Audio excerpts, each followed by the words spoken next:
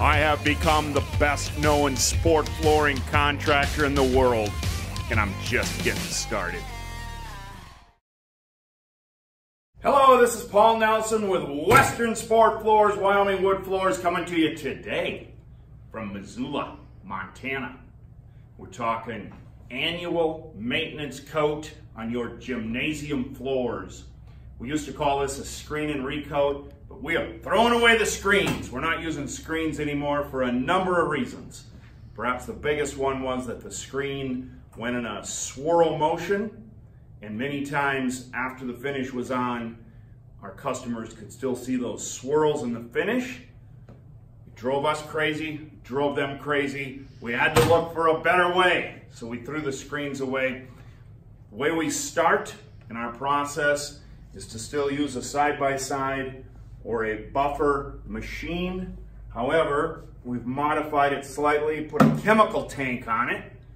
We use a product like Basic Coatings IFT or perhaps Betco's uh, Blue Citrus, Blue Concentrate. To clean the floor, I'd like to recognize that both Bona, Hillyard, and others make similar products for cleaning wood floors. The key probably in my mind is not what product you use, but rather the fact that you actually clean the floor. Get it clean. We're using an SPP pad.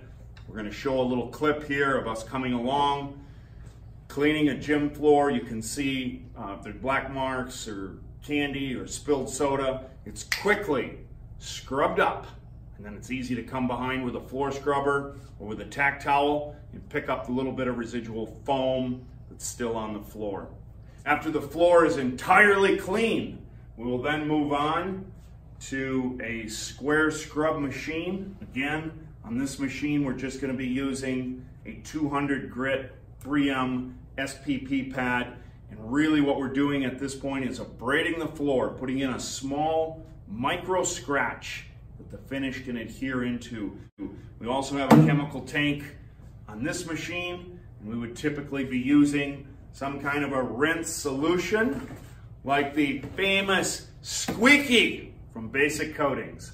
This is a product that's an alcohol-based product, quickly evaporates, so after the process of abrading the floor is complete, and the floor is prepped, the floor, any residual moisture on that floor will quickly evaporate and that floor will be ready to accept finish in a relatively short period of time.